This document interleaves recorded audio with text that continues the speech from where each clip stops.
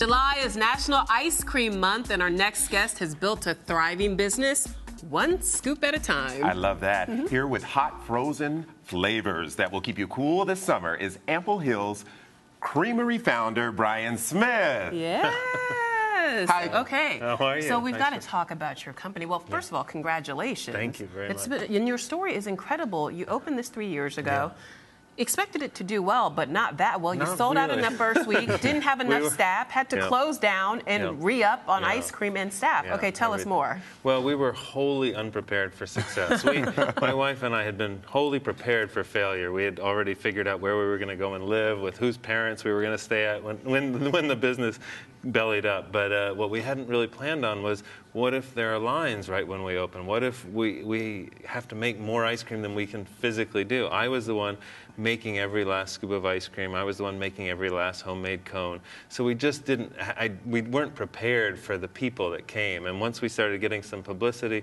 after the first day or two, by the fourth day, we had run out from 24 flavors down to four flavors. Wow. And so we had to close the door. And it was, it sounds fun in retrospect. At the time, of course, it was so anxiety producing because you don't know if you're closing down, if people are going to come back when you reopen. Well, how did you regroup? I mean, what so did you have to do to regroup? Nine days, doubled the staff, hired and trained everybody. It was, you know, it had taken us three months to open and then nine days to uh, totally reinvent ourselves and sort of proclaim that we wouldn't sell out again. And, and uh, we did. And luckily, while we were there in those days, the New York Times walked in and said, hey, can we write an article about how successful you were the first four days? Wow. And that helped make sure that when we reopened, people came back and gave us another shot. So, well, so what's your secret yes. ingredient? Is it crack? What do you put in yes, exactly. we did bring some crack yes. here. Those are saltine crackers. Salt you know. there you go. Um, but uh, no. Uh, Get um, your ice cold crack. That's right. That's no. right. So we uh, is, today we're going to make a sundae.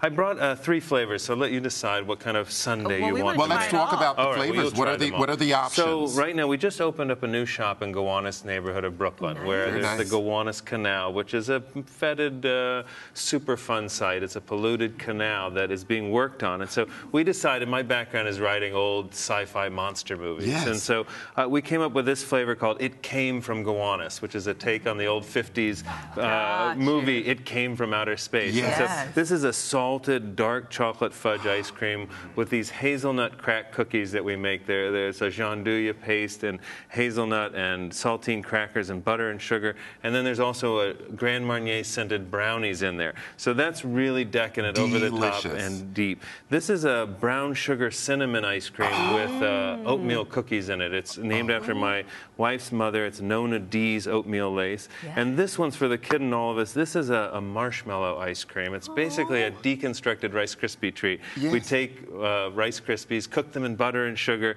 mix them into a melted marshmallow ice cream. So the ice cream itself tastes like marshmallows. So we're always trying to play with our sort of childhood and try to make flavors at Ample Hills that, you know. well, I love delicious. the nostalgia. Yeah. What's uh, your favorite? My favorite right now is probably this. It's called Snap Mallow Pop. So Snap you know, Mallow yeah. Pop. That's so cute. cute. Yeah. Um, Wait, and so, how do you work in the ice cream business and remain this lean? Well, how does most, that work? mostly it's because I'm standing all day long oh, carrying 50 pound bags of sugar around. And, and it's funny because when I was a writer, I would sit and eat pints of ice cream and I was heavier. Yes. And, and once I opened the ice cream shop, I probably lost about 20 pounds because of the, I think, the anxiety of running a shop. And, and you're making and this around. ice cream in the shop. In the shop in Gowanus uh, every day. so right as, now. a, as a customer, we can you see. can see it, yeah. We have Really? beautiful glass windows, and that, that was part of our whole idea was to invite people into the narrative of, of how we make ice cream, and so that so that it's more than just going and getting a scoop of ice cream. It's about creating a place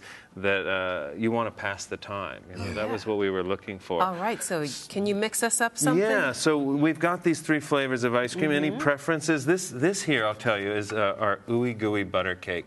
It's a St. Ooey Louis gooey tradition. Yes, butter it's cake. it's butter, it made of? cream cheese, powdered sugar. I mean, it's just evil. And It's- so we lay this on the bottom of a sundae and warm that up, and then we put whatever flavor of ice cream you want. Now, Lola and I committed to be down with the swirl. I like chocolate. She Okay. likes vanilla, so maybe we can pull All right, do a little of each I of want these. this middle one. Or the brown right, sugar. right, okay, right, then all right. three. How I about want we the put Nona. all three Yes. of them on here? All right, so A we'll taste just, of mother- we'll just- mother-in-law. We'll just. Uh, All right. Yeah, we'll just do a little bit of all three All of them. right. And uh, then we brought some of our toppings. We make everything from scratch at the shop, so we we make our hot fudge, we make our caramel, and we try to. It just it makes it more fun. It keeps me excited So, are you day. the most popular man in the neighborhood? Well, I'm, I'm definitely one of my my kids. Uh, we have two kids, Yeah. so you know How they're, are they're five and eight, and so they're our must be like primary taste testers. I was Yeah, going to say, this is ice cream time. That's ice cream time. So these are our crack cookies. This is a saltine. It's very humble origins, but it's very popular. It's Okay. a saltine cracker cooked with butter, sugar, and then coated with chocolate. So we're just going to uh, put some of these on top of this sundae. All right. And then uh, we have here is our hot fudge. I can't And wait, so you I'm just can- gonna try. Absolutely. Go Why not? Yes. You know, and I'll just put I'll some wait for the fudge. put some hot fudge on here. What's it doing to you?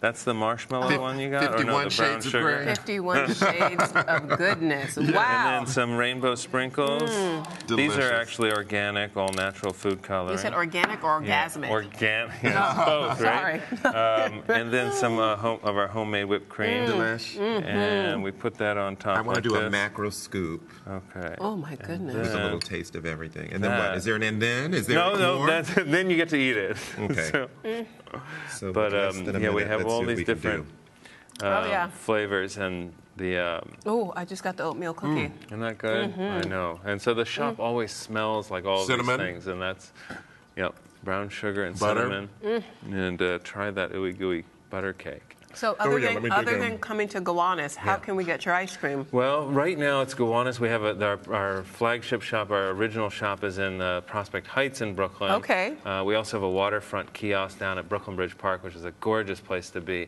But uh, hopefully at some point in the near future, by the fall, we'll have pints in stores and things like that. So people won't have to get all the way to Brooklyn. Well, Although I there's am- some good reasons to get to Brooklyn. I will be there, definitely. I'm Great taking. stuff. Yes.